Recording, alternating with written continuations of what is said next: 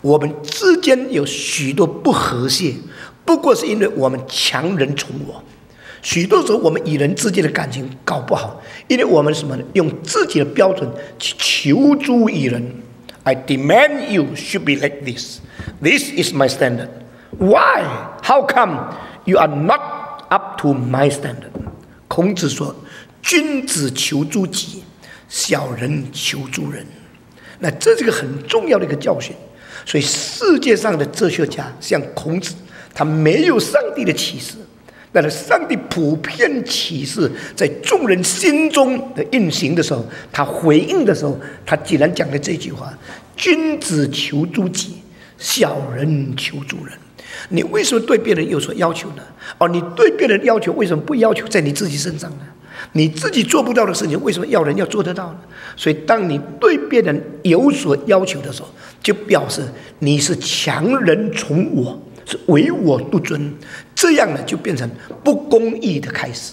你说我是啊，我能尊重人呐，所以他也要尊重我。那如果你先尊重人，要人尊重你的话，又表示你的灵性还不够，因为你是得到报赏的目的，得到报赏的动机，才作为你对人良善的一个出发点，这又不对了。所以基督教的伦理是很深的伦理。我对人好，因为我是基督徒。人对我不好，因为他不是基督徒；我对人尊敬，因为我有有灵性。他对我不尊敬，因为他灵性没有这么多。如果他灵性没有这么高，哦，我要求他做到我要他做的那么高，这个是苛求，对不对？所以，一个八岁的孩子，为什么你叫他初中毕业呢？因为他八岁嘛。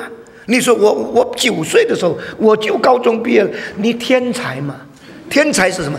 天才天才天上掉下来嘛？啊！他不是天才，他不会做到，所以每一次看到别人做不到你所做到的时候，你只能怜悯，你不能苛求。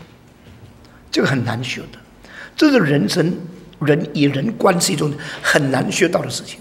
就因为这个缘故呢，我们要多启发、多鼓励、多教导、多饶恕、多明白、多体恤，而少要求、少。